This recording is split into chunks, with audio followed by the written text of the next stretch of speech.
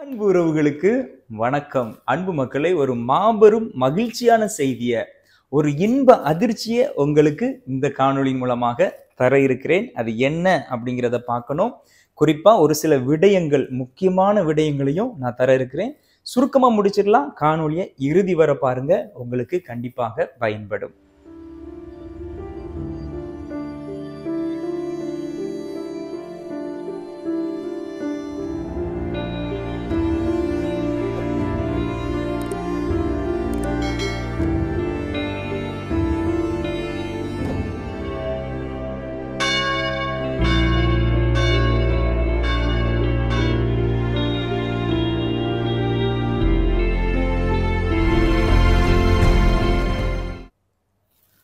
S இன்ப அதிர்ச்சி என்ன அப்படின்னா ஏறக்குறைய நானூறு ஆண்டுகளுக்கு பிறகு அன்னை வேளாங்கண்ணி ஆரோக்கிய தாயினுடைய அந்த காட்சிகளை நம்முடைய வத்திக்கான் முதல் முறையாக அங்கீகரித்திருக்கிறது. அதை அப்ரூவ் பண்ணியிருக்கிறாங்க அதை ரெகனைஸ் பண்ணியிருக்கிறாங்க அப்படின்னு நம்ம சொல்ல முடியும்.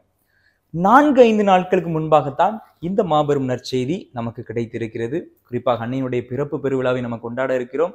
வேளாங்கண்ணியில அதை நம்ம பல கோடி மக்கள் இணைந்து நம்ம கொண்டாடுவோம் அப்படிங்கிறது உங்களுக்கு நன்றாக தெரியும். இப்போ நீங்க கேட்கலாம் என்ன ஃபாதர் அப்போ இவ்வளவு நாள் வேளாங்கண்ணியில உள்ள அந்த திருத்தலம் அங்கீகரிக்கப்படலையா? அப்படி சொல்லி நீங்க கேட்கலாம்.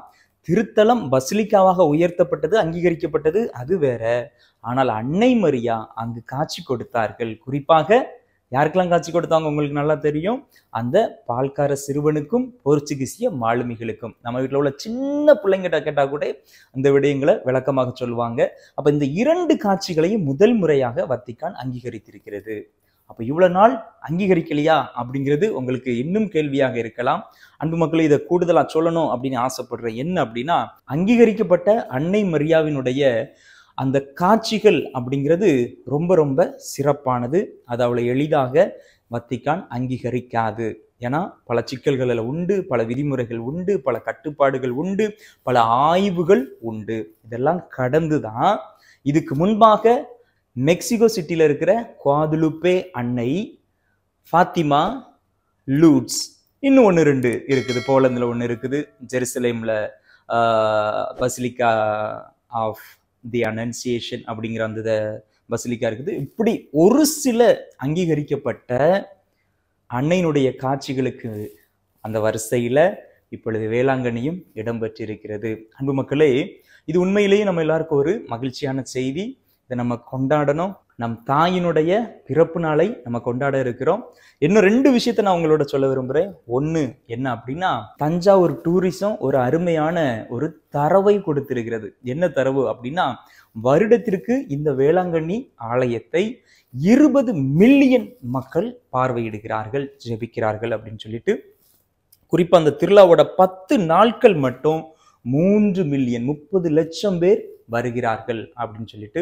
இந்த இருபது லட்சம் மக்களில் கத்தோலிக்க கிறிஸ்தவர்கள் மட்டும் கிடையாது இந்துக்கள் உண்டு முகமதியர்கள் உண்டு அப்படிங்கிறது நமக்கு தெரியும். காரணம் பைபிளில் சொல்லப்பட்டிருக்கிற அந்த வார்த்தை லூக்கா ஒன்று நாற்பத்தி எட்டு இது முதல் எல்லா தலைமுறையினரும் என்னை பேறு பெற்றவள் என்று சொல்வார்கள் என்று இதை நம்ம நம்முடைய பூமியில நம்முடைய மண்ணில் நம்ம அதை விட்னஸ் பண்ணிக்கிட்டு இருக்கோம். நம்ம அதை சாட்சியாக பார்த்துக்கிட்டு இருக்கோம் அப்படிங்கிறத நம்ம யாரும் மறந்து விடக்கூடாது மற்றவர்களுக்கு அறிக்கையிடையும் தயங்கக்கூடாது.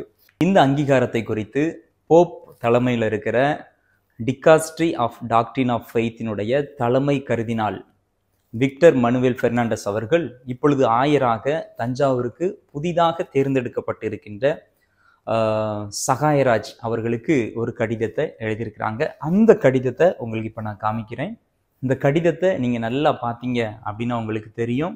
அங்கு ஒரு முக்கியமான ஒரு விடயம் சொல்லப்பட்டிருக்கிறது. அது என்ன விடயம் அப்படின்னா இந்த அன்னையினுடைய திருத்தலமானது பசிலிக்காவானது எல்லா மதங்களும் நாடி வந்து அருளை பெறக்கூடிய ஒரு இடமாக நாங்கள் பார்க்கிறோம் உணர்ந்திருக்கிறோம் கேட்கிறோம் ஆய்வு செய்திருக்கிறோம் அப்படிங்கிறத தெளிவுபடுத்தி இருக்கிறாங்க என்ன ஒரு கூடுதல் விடயத்தையும் இந்த கடிதத்தில் நம்ம பார்க்க முடியுது.